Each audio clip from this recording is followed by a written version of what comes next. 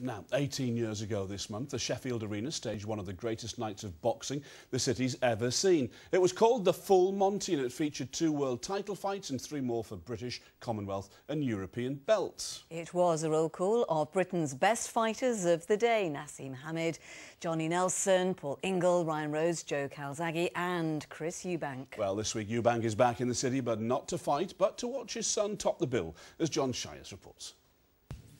If the face isn't familiar, the name will be.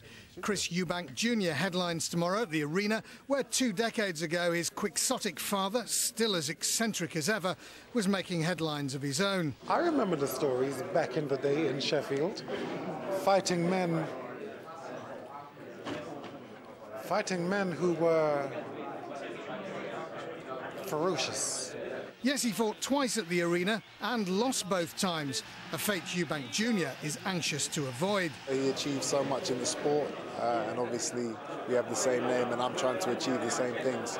So we're always going to be compared. Um, but me, I'm my own man, I'm my own fighter. You have to be. To be successful in boxing, you can't try and copy anybody. You have to be, you have to be yourself.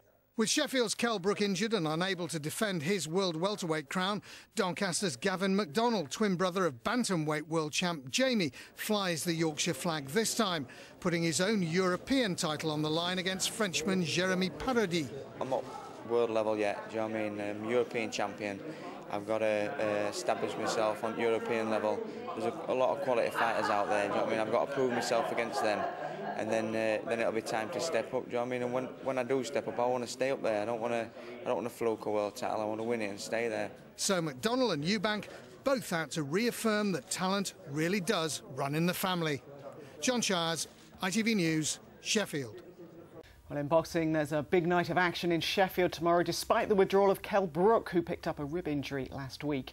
Taking centre stage is Doncaster's Gavin McDonnell, the twin brother of world champion Jamie. He's making the second defence of his European Super Bantamweight title. He's facing Frenchman Jeremy Parodi at the arena, with Chris Eubank Jr. on the undercard. I mean, I'm getting to the stage where I'm, I'm on these quality, uh, quality bills. Um, my, my name's up there. Do you know I mean? I'm, uh, chief support to Eubank. Um, I would have been chief support up there with Kell Brook, do you know what I mean? On a massive show, but it's still a good show. I'm hoping you're going to do one of those somersaults for us later. Oh, on. easy. Yeah. yeah. We didn't realise there was a Chris Eubank Jr. Junior, yeah. Is he anything like his dad? No, no. Thank no. heavens for that. Um, and he's trying to come out of the shadow of his dad, but you can imagine is very difficult. Slightly tricky. And twin Yorkshire champs as well, so yes, running yes, in no, the we family. We have done the twins. It? Yes, we've mm. done the twins. Mm. Okay, Tanya, thank you very much.